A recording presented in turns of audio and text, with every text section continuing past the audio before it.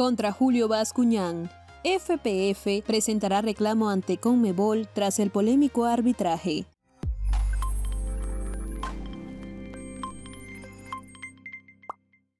La selección peruana no pudo como local y cayó ante Brasil por 2 a 4 por la segunda fecha de las eliminatorias Qatar 2022. El equipo de Ricardo Gareca estuvo dos veces adelante en el marcador, pero no logró sostener su ventaja ante un equipo brasileño que contó con Neymar inspirado. Pero el análisis futbolístico pasó a segundo plano luego del polémico arbitraje de Julio Bascuñán, quien cobró un penal inexistente sobre el atacante del PSG y expulsó a Carlos Zambrano sobre los minutos finales del encuentro. Ante ello, el diario Libero pudo conocer que la FPF no se quedará con los brazos cruzados, y es que el máximo ente del fútbol nacional presentará un reclamo en mesa ante Conmebol y exigirán los audios entre el árbitro chileno y los encargados del VAR, quienes fueron protagonistas principales en esta derrota de la selección peruana por la segunda fecha de las eliminatorias Qatar 2022. Carlos Zambrano se pronunció tras su expulsión en el Perú versus Brasil. Carlos Zambrano, defensor de la Boca Juniors y la selección peruana, utilizó sus redes sociales para descargar todo su sentir luego de la polémica derrota ante Brasil este martes en el Estadio Nacional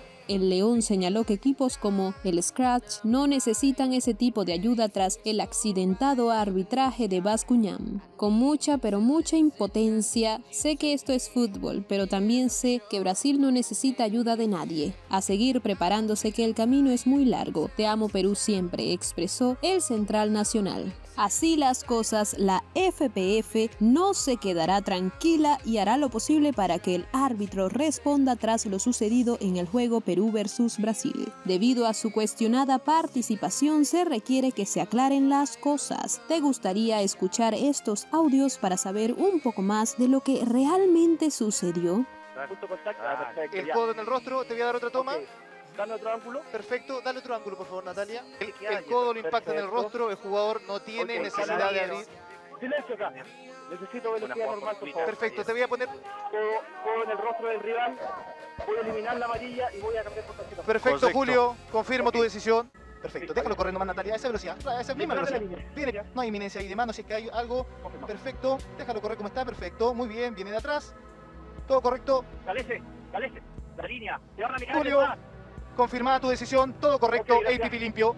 Bueno, ese es el primer penal donde obviamente a todos los peruanos nos queda una duda, claramente una duda. Están hablando estos árbitros, ambos son chilenos coincidentemente en este caso. despacio, despacio, despacio. tómate tu tiempo. Sí, hay el contacto, hay un contacto que de, de, un pie abajo de Zambrano, si no me equivoco, con Neymar. ¿Quieres que te dé otro? No, quiero que me dé ahora el APP, por favor. Quiero ir a ver el APP. Eh, penal claro. Déjalo, déjalo correr, déjalo.